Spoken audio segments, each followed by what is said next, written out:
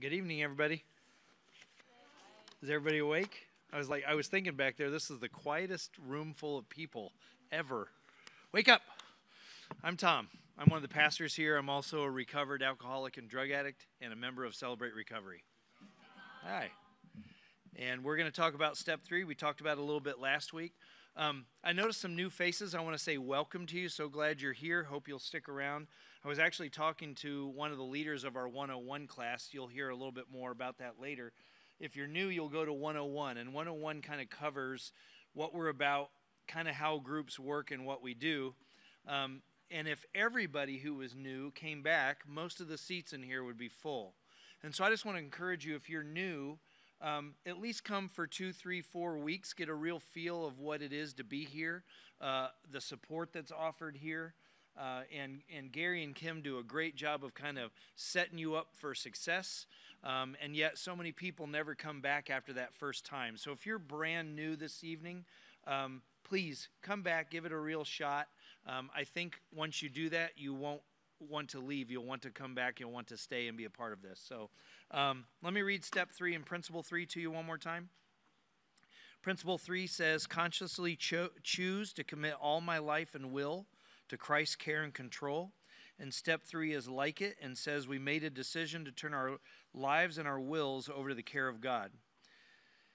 So you say, well, I'm new and you're on step three. I'm, what happened to step one and two? Well, someone once told me that recovery is like life, which is like a merry-go-round, which is we jump on while it's moving. Um, we cycle through these steps. We'll come right back around to one once we get to 12. And if you didn't hear the talks and things on those before, you'll get those eventually. But recovery really is like that merry-go-round that we jump on while it's spinning. But the good news is there are people there to lend their hand and help us on. And so look around the room if you're new. Anybody here would be glad to support you, help you, encourage you, um, and help you jump on while we're moving. So, our acrostic tonight, if you care to take notes, is action. And I'll go through these slower, but I'm going to go through them quickly now. Accept, commit, turn it over. It's only the beginning, one day at a time, and next step. Like I said, I'm going to go through these slowly, but that's action. Um, and we're going to kind of do a two in one tonight. So I didn't write this up here for no reason. We will get to that. Um, but acceptance is an action word. Uh, that was a new one for me in recovery to learn that acceptance is action. Another program, uh, another 12 step program likes to say that acceptance is the key to all my problems today. That's true. That's true, but acceptance is an action. It's about what are we doing next. Um, God is so good and shares wisdom with me, and I get to share it, and I try not to ever take credit for it because it's not mine, it's His but he shared with me a few weeks ago i was going to counsel this young lady and as i was walking down the hallway to go to it he said we, we spend too much time in the whys and we don't get into the whats and acceptance is about the whats. And what i mean by that is when we ask why we sort of circle the drain. We circle the problem. We stay in um, uh, we, we just kind of focus where we're at. And we have this idea that if i can understand why then I can somehow control it. And that is such an illusion and a waste of your time and your energy. So I encourage you get out of the whys and get into the whats. What do I do next? What's my next step? What can I do about this? And that's what step 3 is about here and that's what acceptance is about. Acceptance is about okay, this is the issue, this is the problem and this is the solution. What do I need to do next? So so get into get into acceptance. Um, I was thinking a lot this week about folks that come in to celebrate recovery that maybe don't know Jesus yet as their Lord and Savior. Maybe you've been around church, you know that this is a Christ centered program, but you haven't personally taken that step to ask Jesus to be your personal Lord and Savior. That's okay you're welcome here. I want you to know that. I want you to know that no one is, is going to, uh, there's not a quiz, there's not a test, no one's going to ask you about that. But I also want to encourage you that, that that should be one of your goals. That should be one of the places that you want to get to as being a part of Celebrate Recovery. And the good news is the steps themselves are a good pathway to that. So if you're here tonight and you're unsure, you don't know the Lord yet as your Savior, uh, you're in the right place, and this is a path to doing that. So that's acceptance. And I love what Romans 5 8 it says, but God demonstrates his own love for us in this. while we were still sinners, Christ died for us. You know, sometimes we try to do in three what the 12 steps are designed to do, and I'll come back to that in a minute. But understand this step three is a lot about commitment and it's about our commitment to recovery, our commitment to the program, our commitment to our Lord and Savior, and our commitment to walk this path with our accountability partners and our sponsors. So if you if you don't remember anything else, remember that commitment. And the reason I looked up that scripture and put it in there, again, that's Romans 5 8. And all the scriptures, I would really encourage you write these down, take them home, meditate on them, pray on them, see what the Lord has to say to you about these scriptures. But I wrote this down because I need to be reminded God didn't say, get cleaned up and then come to me. He said, come to me and I'll clean you up. He died for me while I was still a sinner. He died for me while I was still in my hurt habit and hang up. He died for me while I was still in my addiction. He didn't wait till I said, I'm going to go get in recovery. He didn't wait till I'd worked all 12 steps. He died for me while I was yet a sinner. And sometimes we make it harder for people than Jesus did, right? So everyone's welcome here, no matter where they are in their journey. C stands for commit. Again, I said this if you don't remember anything else, this is what we're talking about. And yes, I want you to commit to the Lord, but if all you can do today is commit to the program, you've made an excellent start. Make a commitment to the program. And I like what the psalmist says here Teach me to do your will, for you are my God. May your good spirit lead me on level ground. And that's Psalm 143.10. Psalm 143.10. Teach me to do your will. You want to learn how to do the good and pleasing and right will of God? Stick around. Stick around. T stands for turn it over. Turning it over is a process, right? And someone once said to me, we ought to go one further because I can turn this over all day long, right? I can turn it over, but I'm not letting it go. So, what we're really saying is we're giving it to the Lord. When we say turn it over, what we really mean is we're letting it go. We're giving control over to Jesus. So when we say turn it over, turn it over, let it go, relinquish control. Whether you realize this or not, I think the 12 steps are one of the best processes we have in spiritual transformation. One of the best things that's ever come out of the modern age for spiritual transformation is the 12 steps in all of its forms. What is spiritual transformation? That means becoming something and someone new from the inside out, right? You can think of the 12 steps as a roto-rooter for your soul, all right? We make room and the Holy Spirit moves in. And when the Holy Spirit moves in, look out because things are going to change things are going to get good and that's really what we're talking about making that making that place um, I was thinking about turning over our will, and we're going to talk a little bit more about that. That's not automatic even for me most of the time now, and I can guarantee you that when I was new in the program, it wasn't automatic for me. And people used to talk about it all the time, and I didn't understand how you could do that. Well, let me tell you that today what I know is that the spiritual transformation that takes place through the working of the 12 steps will allow you to get to a place where your will is God's will right? And His will is your will, and then turning it over becomes automatic and you don't have to think about it. I talked about it last week a little bit that we don't want to be someone who doesn't steal because we have to remind our ourselves all the time don't steal, right? A thief is not somebody who steals, a thief is somebody who will steal if the occasion is right. So if we don't want to steal, we want to become the kind of people who don't steal not the kind of person that has to fight themselves all the time. Think about it in terms of you're here for drinking or drugs. You don't want to white knuckle it the rest of your life. So, what needs to happen is you need to be transformed from the inside out into the kind of person who doesn't desire to drink or drug. Then there's no battle anymore. Then there's no white knuckling it. And that's when we learn to turn it over automatically. And again, that's a commitment to working the steps. Therefore, I urge you, brothers and sisters, in view of God's mercy, to offer your bodies as a living sacrifice, holy and pleasing to God. This is your true and proper worship. Romans 12 1. Right? It's not that God doesn't want our praise, and it's not that He's not worth our praise, but it says, You really want to worship? Then turn your whole life.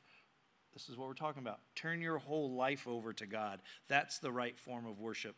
That's the right understanding of who God is and who we are, right? You never did belong to yourself. You're really just returning to God what belongs to Him anyway.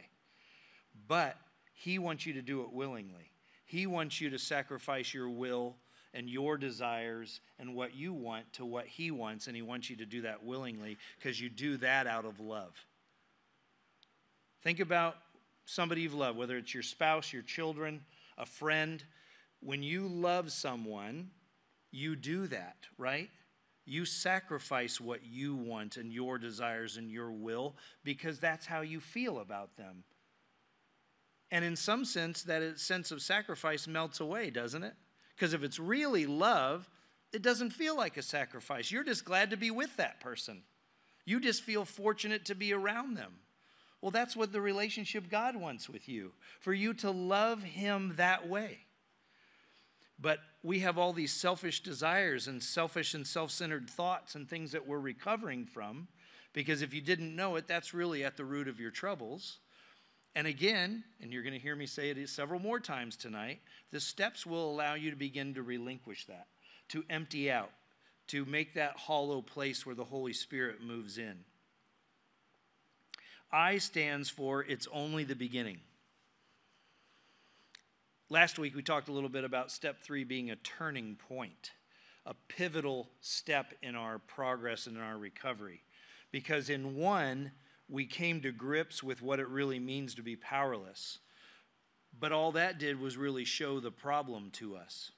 In two, we realized that a big part of the problem was our own thinking and our inability to think reasonably and soundly and to react soundly to life. And yet we still hadn't gotten there yet. Three is that point where we go, something's got to change, and I'm committing to do what will bring about that change. So that is the turning point. It's only a beginning. Remember what I said last week? You'll know in 11 if 3 worked. And a better way to say it might be you'll know in 11 if you meant your commitment in 3. The O stands for one day at a time. Well, let me, let me back up. I missed my scripture here Psalm 37 23. The steps of a man are established by the Lord when he delights in his way right? So there, it's contingent. We don't, we don't like to think about Scripture that way sometimes, but a lot of Scripture is only if this happens will this happen. And here's one The steps of man are established by the Lord if, when, he delights in his way. If you want your steps to be established by the Lord, learn to love him, learn to turn your will over to him, right? Learn to hollow out one day at a time. We live in the moment.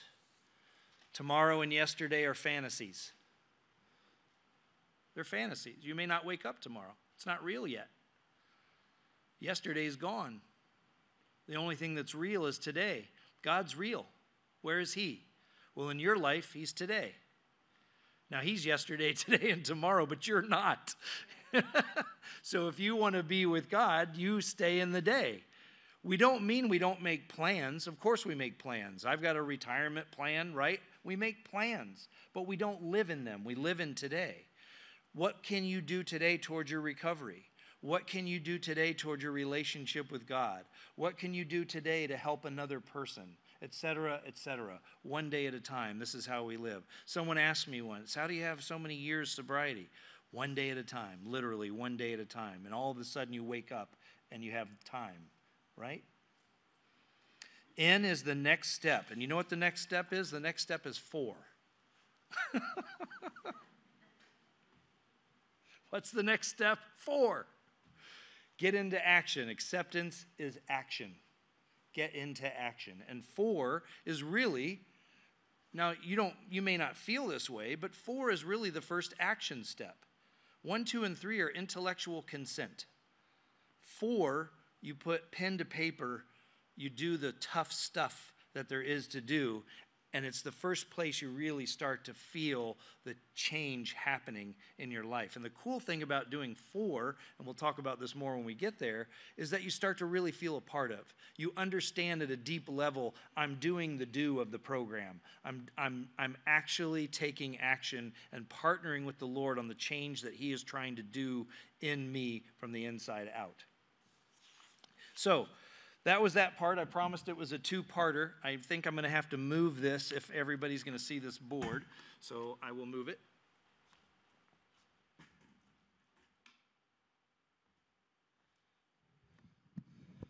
And I've never done this with a mic in one hand, and so I'm. anyway, uh, let's see.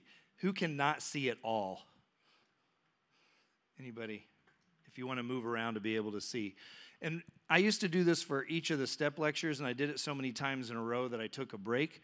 But I have to be honest, I really love the whiteboard, and I'm, glad, I'm glad to be back to the whiteboard. And we're going to break down the step and really allow the step to explain itself to us. So, made. This is this is like a pivot. Like this is you did something here, right? It's past tense. And what did you what did you do? You made a decision. What's a decision? It's a choice. And we're going to say it's a conscious choice. You make choices all day long, whether you realize it or not. Drive fast, drive slow, turn, don't turn, walk, don't walk. We make decisions all day long. But what we're really talking about here is that this is an informed, conscious choice that you that, that you have spent time praying thinking. You've talked with your sponsor and accountability partner. You've talked about it in your groups. You have every I, you know what you're doing. You're making a conscious choice. To turn we talked about this that we're really talking about letting go. And we could even say this is another surrender for us in fact, I would argue this might be a bigger surrender, believe it or not. I know it was hard for a lot of you to get in here and to take the first step, but I would be willing to say that to really take step three, to really mean step three, to really let three have an impact in, on your life, might be a bigger surrender. Remember, we've talked about that selfishness, and this is probably too light a color for anybody to see, and self centeredness is the root of our issues. Original sin. Right? Original sin. That's we call it original sin and we get really mad at Adam and Eve. If you guys were the first two people, you'd have done it too. That's what you need to know. Don't be so mad at Adam and Eve. It would have you would have done it too. Okay? That's what that's what we need to take away from that that their sin is our sin and our sin is their sin that that idea of wanting to be in control and having it all about us I think I've shared this in here before. I got to share this again. Every time this comes up, I have to share this.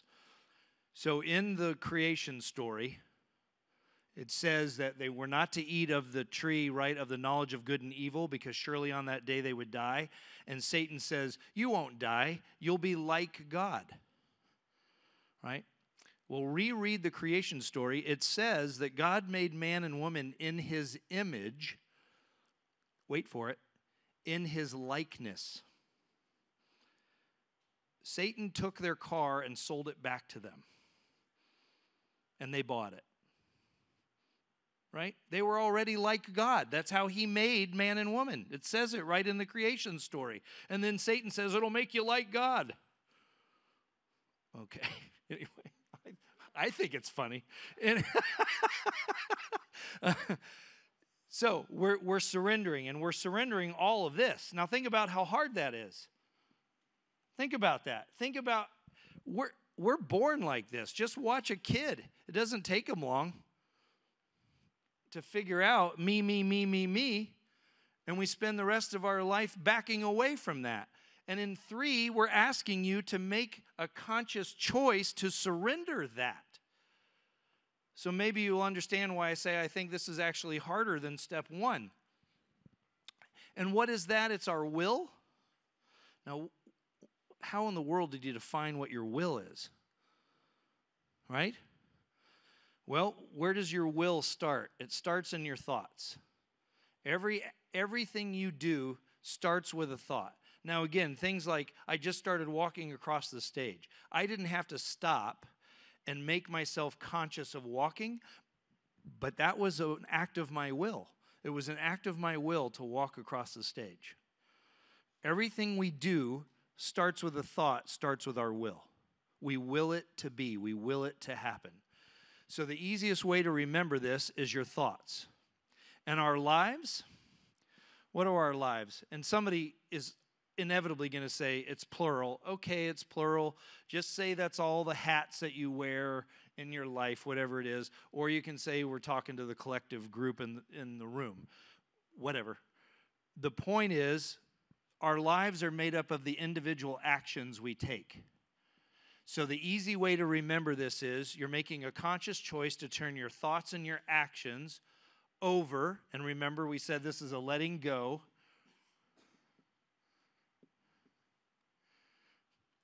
To the care of God. Now, this is really important. Don't miss the word care. Because a lot of people read this, we're turning our thoughts and our actions over to God. If God wanted robots, He would have given us bolts. Okay? He didn't make us that way. He gave us free will. He doesn't want robots. He doesn't want marionettes and he doesn't want puppets. If we just turned our lives over to God, that's what it would be. But that's not what we're asked to do. We're asked to turn it over to the care of God. And there's all kinds of synonyms for care love, affection, discipline, right? There's all kinds of words that we can fit in here. And that's what we're doing.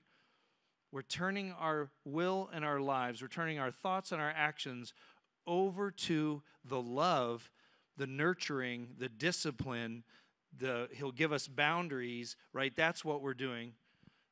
God. Now that seems straightforward in a Christian environment, but let's think about what that means too. Our God is a triune God. What does that mean? That means He's Father, Son, and Holy Spirit.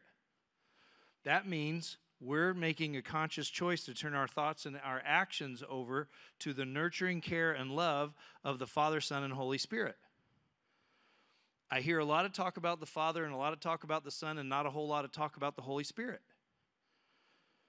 But Jesus said, I am going to be with my Father in heaven at the right hand. He ascended into heaven and he left. And the good news is, he said, But I will send you another.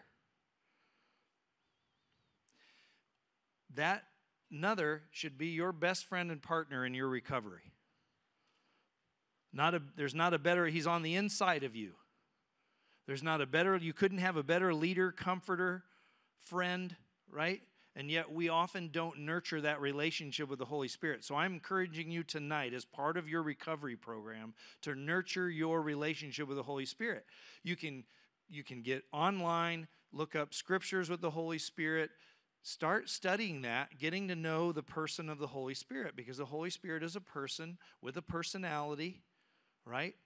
There's all kinds of cool things. He comes in power. He gives us the ability to do things we couldn't do. He prays for us when we don't have the words. He helps illuminate God's word to us and helps us understand things we couldn't possibly understand without Him. He's indispensable. And yet we never talk about the Holy Spirit. So I want you to remember that you're turning your thoughts and your actions over to the care of the Trinity. Okay? Now, all that's well and good. If the only thing you remember tonight is you're making a commitment to work the rest of the steps, you got something out of this evening. All right, that's really what step three is about. It's about your commitment, your willingness, and something I don't hear enough here is don't quit until the miracle happens. Now, don't don't don't minimize those words. We hear miracle so often that we become sort of deaf to it.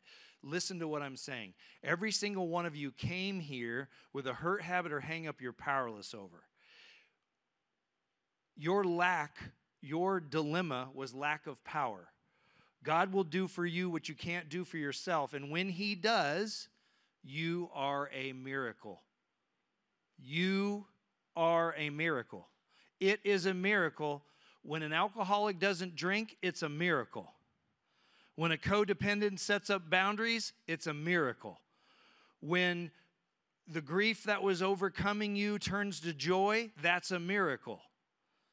Don't minimize the miracle. Don't minimize what God wants to do in your life, but you have to make a commitment and follow the path He's put in front of you. Are there other ways to get there? Yeah, but He didn't send you to those other places, He sent you here. There are many paths to the top of the mountain, but He sent you on this one. So why don't you do this one to the best of your ability and see what happens? Thank you so much for letting me yell and rant and do all these kinds of things. Let me, I better pray to bring myself down a little bit. Heavenly Father, just so grateful for your love, um, for the fact that you you sent us here, that you um, that you put this path in front of us, that you put these steps. These, uh, as people say, this is a simple program for complicated people, and I own that, Lord. And uh, Lord, I just uh, want to pray for this room, the, the, the people represented here, the families represented here, uh, the hurts and the habits and the hangups. Um, and, and Lord, I realize that we use words so often that sometimes they lose their meaning.